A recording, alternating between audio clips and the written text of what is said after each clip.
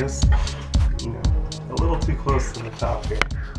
And uh, this one's really tough to get into, but with these ball cock assemblies, you've got an adjustment screw up at the top right here. But of course, I'm not going to be able to get a tool in there. But also, you can just bend the float down a little bit, the float arm. Uh, there's a risk of it, um, you know, breaking because it's so rusty. But um, I'll just bend the arm down just a little bit and then we'll give it a flush and see how it goes.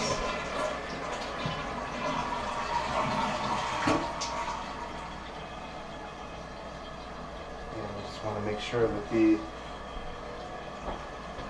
water cuts off below the handle and below the, the fill tube.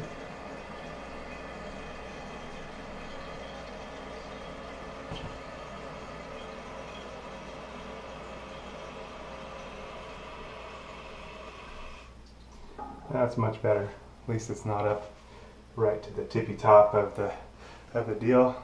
But uh, that's just uh, all I did was bend the arm down a little bit. It also has a threaded deal that you can thread the, the float onto the deal further. Yep, all set there. So we'll give it a flush.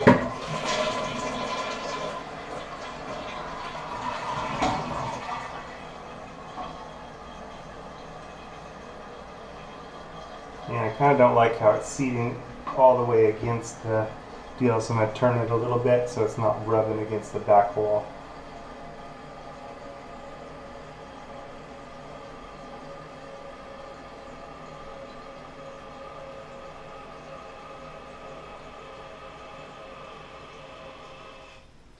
Alright, there it is.